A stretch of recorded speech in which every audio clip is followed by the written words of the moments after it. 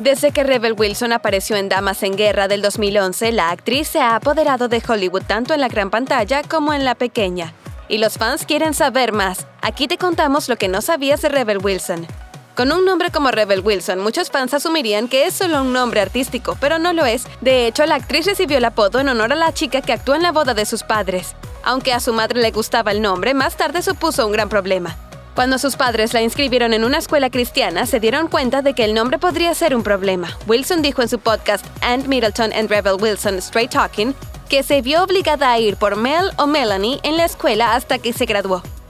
La mayoría de los actores han soñado toda su vida con llegar algún día a la industria. Sin embargo, Rebel Wilson quería algo totalmente diferente al principio, ser abogada. Incluso fue aceptada en la mejor escuela de leyes de Australia, aunque fue durante un segundo año de estudios cuando empezó a conseguir papeles de actriz. Tras aparecer en televisión, la gente de su clase la reconocía durante los exámenes. Muchos incluso le preguntaron por qué no había abandonado los estudios para seguir su carrera. Ella se lo contó a James Gordon. It took me so long to get into law school that you had to study really hard. So I thought I may as well finish it even though I was already kind of famous. Desde entonces, su título le ha resultado muy útil al gestionar sus propios contratos, y cuando su película Maestras del Engaño recibió una calificación R por parte de la Asociación Cinematográfica de Estados Unidos en el 2019, ella no pensó que lo mereciera, así que le dijo a Graham Norton que los llevó a un arbitraje. The jury deliberated for less than five minutes and declared me the winner. Puede que Wilson haya interpretado a un felino en Cats, pero ella nació y se crió en una familia de perros. Cuando crecía, sus padres viajaban por todo el país como exhibidores profesionales de perros. Su bisabuela fue incluso la que fundó el club oficial de Beagle de Australia. Wilson le dijo a Kelly Clarkson, Mi madre quedó destrozada cuando no continuó el legado familiar de los perros. Sin embargo, cuando a Wilson le ofrecieron ser presentadora de un programa de televisión sobre competencias caninas, pensó que era el destino, así que en el 2020 debutó como presentadora de Push Perfect. Dijo, no es como cualquier programa al que iba a ir, tenía que hacer este. Pero dice que nunca tendrá perros por una razón irónica. Es alérgica a ellos. Todos empezaron a reconocer el nombre de Rebel Wilson después de su papel en Damas en Guerra, pero en realidad protagonizó una película estadounidense antes. Interpretó a una chica del callejón en la película Ghost Rider dirigida por Nicolas Cage en el 2007. Aunque solo aparece en una escena, el personaje deja su huella en la gran pantalla. En ella es divertidísima al explicar a una reportera que había visto al caballero del personaje de Cage en llamas. On fire. Yeah, like. Like that much fire? Hacer la película fue una experiencia interesante, le dijo a Conan O'Brien. Fue algo típico en lo que entré al set y alguien me dijo, hagas lo que hagas, no mires a Nicolas Cage a los ojos, no le hables. Sin embargo, durante su encuentro le hizo un cumplido a su cabello, dándose cuenta de que en realidad era una peluca una vez que lo tocó. Es difícil de creer ahora, pero Rebel Wilson no siempre fue la estrella extrovertida y divertida que vemos ahora en pantalla. No tenía muchos amigos y en cambio mantenía la cabeza enterrada en los libros, dijo a Lorraine Kelly. In a way, I was a super shy girl. Para conseguir que se abriera, su madre la inscribió en una clase de teatro local, pero Wilson no estaba interesada. Explicó en el podcast de Producer's Guide, Todd Garner en Hollywood's Elite, me aferré a la puerta del auto y no quise ir, y ella literalmente me arrastró físicamente a ese lugar. Fue vergonzoso. Una vez dentro, Wilson recuerda que fingió ser cualquiera menos ella misma. Incluso empezó a hablar con acento americano para no tener que abrirse a los de su alrededor. Sin embargo, después de unas clases se fue enamorando de a poco de la actuación, ya que era una forma de expresarse con seguridad a través de sus personajes.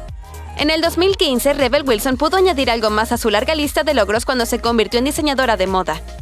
Ese año se asoció con Torrid para diseñar piezas especiales que se venderían en sus tiendas. Le debió encantar porque dos años después diseñó una colección completa para su propia línea de ropa.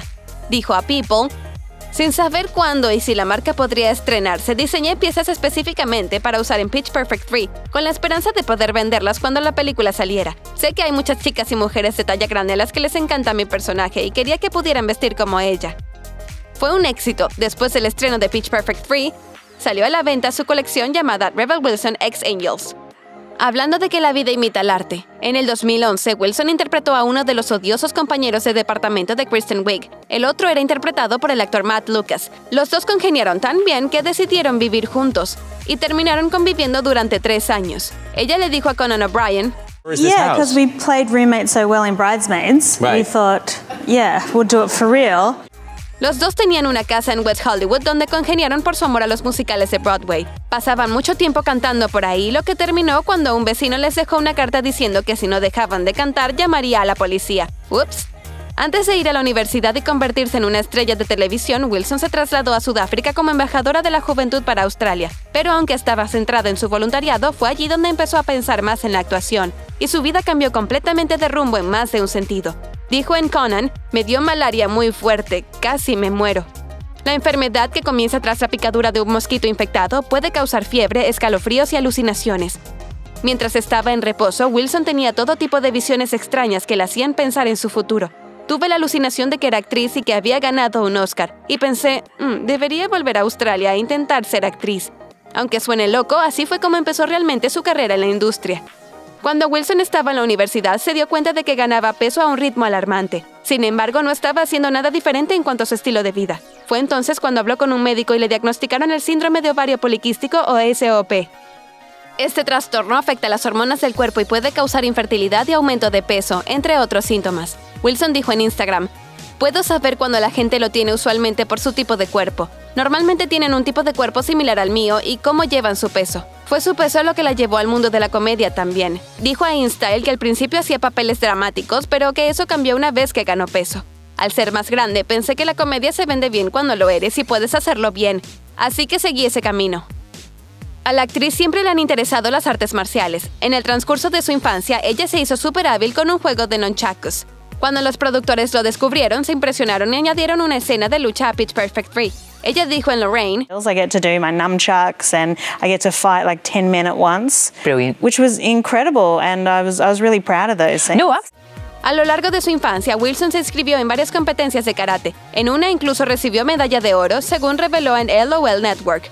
Aunque no tenía cinturón negro, le dijo a Lorraine Kelly, I've always felt like I have ninja abilities Right. inside of me. En mayo del 2015, la editorial de revistas australiana Power Media Group publicó una serie de artículos en los que se afirmaba que la actriz mintió al público sobre su edad, donde había crecido y gran parte de su vida. Wilson dijo a Seven News Spotlight, for someone like me who prides herself on being very candid and authentic, it was it was just probably the most devastating thing they could have said to me. Wilson dijo que trató de ignorarlo, pero se sorprendió cuando fue despedida abruptamente tanto de Kung Fu Panda 3 y Trolls, después de que ya había hecho el trabajo de voz para las películas.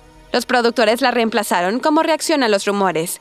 Wilson dijo, And I got fired from two family movies that I'd already completed, which was probably like my lowest point.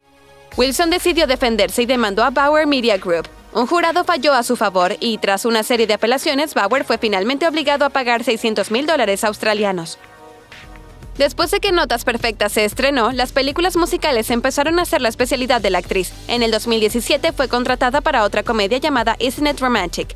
Irónicamente, mientras interpretaba a un personaje con una conmoción cerebral, de verdad terminó teniendo una. Un día caminando a un ensayo, la actriz resbaló accidentalmente en una colina. Dijo a People, Tuve una conmoción cerebral y me llevaron al hospital por tres horas. Pensé, qué ironía, no fue por hacer una acrobacia loca, sino porque el césped tenía un poco de rocío. Sin embargo, tras su paso por el hospital, regresó al set y completó una jornada de 16 horas. Muchas personas eligen perder peso como su meta de año nuevo, pero Rebel Wilson lo hizo realidad en el 2020. Ese año sorprendió a sus fans al bajar más de 18 kilos por una razón especial. Lo dijo en una transmisión de Instagram. Al principio ni siquiera era realmente sobre mí, era más pensando en un futuro mini yo. Wilson siempre ha querido ser madre. Durante una reunión con su médico poco antes de cumplir 40 años, expresó su interés por congelar sus óvulos. Dijo, y el doctor me dijo, bueno, tendrás más posibilidades si estás más sana. Así que dije, bien, voy a hacerlo, voy a ponerme sana. Y llevó a sus seguidores a lo largo de todo su viaje. Así se hace Rebel. Todas las estrellas parecen tener los accesorios más increíbles en la alfombra roja, sin embargo, siempre ha faltado algo en Rebel Wilson. Un par de pendientes. Wilson reveló a InStyle, ni siquiera tengo las orejas perforadas. Aunque la actriz siempre luce increíble en cualquier evento en el que esté, en realidad no es una gran fanática de las joyas, dijo a People. Te darás cuenta de que en las alfombras rojas no suelo llevar joyas, pero aunque las joyas no sean importantes para esta estrella de cine, hay un accesorio que mantiene cerca de su corazón. En el 2021, el director Paul Feig le envió un anillo grabado para el aniversario de la exitosa película Damas en Guerra que mostró en Instagram. La enorme joya luce más como algo que ganaría un atleta en el Super Bowl, y seamos realistas. Con una vida como la de Wilson, no nos sorprendería que dominara el campo de fútbol próximamente. Mira uno de nuestros videos más recientes aquí. Además, más videos de Deli sobre tus celebridades favoritas vendrán muy pronto. Suscríbete a nuestro canal de YouTube y activa la campanita para que no te pierdas de nada.